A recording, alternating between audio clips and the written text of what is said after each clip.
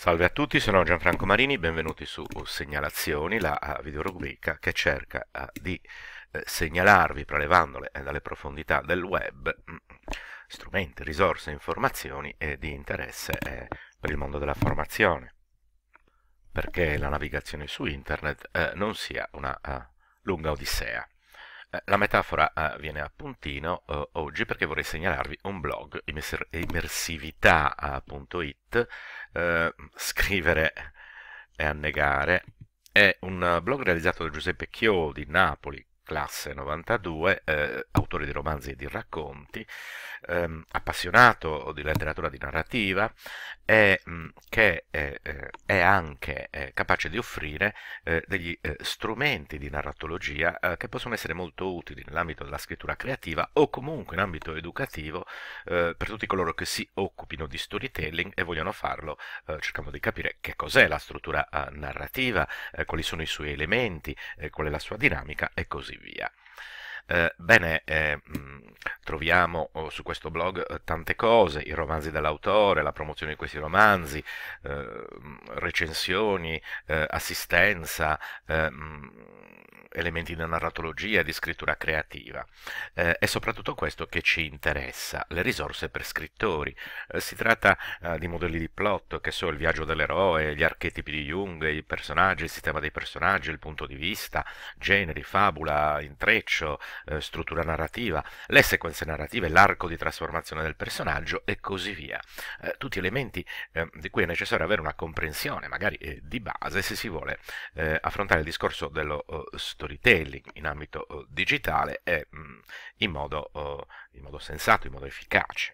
Uh, per trovare il blog di Giuseppe Chiodi, questo palombaro del web, basta scrivere sul motore di ricerca immersività, anzi senza l'accento, immersività blog Giuseppe Chiodi e arriviamo su immersività.it. Eh, quello che a noi particolarmente interessa, che vi mostro subito così non perdete tempo, eh, per carità guardatevi tutto naturalmente, eh, anche eh, eh, perché eh, può essere di interesse, è questa sezione, quindi lasciamo stare recensioni, miei romanzi eccetera, che sono comunque sezioni interessanti, e andiamo a risorse per scrittori. Eh, qui possiamo consultare eh, tutti gli articoli scritti, eh, per esempio costruire una storia mm, con gli archetipi junghiani che vengono confrontati eh, con eh, quelli proposti da Vogler nel suo viaggio dell'eroe che a sua volta eh, riprende mm, e divulga il molto più complesso testo di Campbell sul tema del viaggio dell'eroe, oppure il monomito del viaggio dell'eroe ancora, e così via. Per consultare gli altri articoli basta andare qui oppure nell'archivio e, e, vedete narrativa neuroscienze, trucchi per scrivere un romanzo, eh, il punto di vista, ce n'è uno molto bello, la struttura narrativa di una storia. Ecco, andiamo a vedere la struttura narrativa di una storia per renderci conto di come è organizzato l'articolo. Eh, sono articoli molto lunghi, molto approfonditi, scritti bene, eh, non banali, eh, cioè che non banalizzano mh,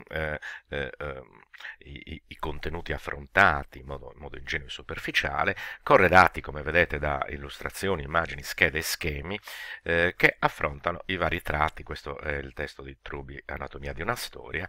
eh, anticipati dal, uh, dal, titolo, i vari tipi di storia, spirale, ramificata, eccetera. Come vedete, insomma, è molto interessante e può essere molto utile per tutti coloro che vogliono approfondire eh, gli elementi, vedete, proprio un piccolo saggio, potrebbe essere il capitolo di un saggio, eh, Dara Mars, l'arco di trasformazione del personaggio, sono citati anche i testi, eh, eh citazioni eh, eh, di quelli che sono i testi più importanti sull'argomento, esempi, eh, schemi, si tratta veramente di un articolo esauriente sull'argomento. Bene, spero che questa segnalazione possa tornarvi utile, vi ringrazio e vi auguro una buona giornata con la speranza che alla fine possiate vivere eh, felici e contenti.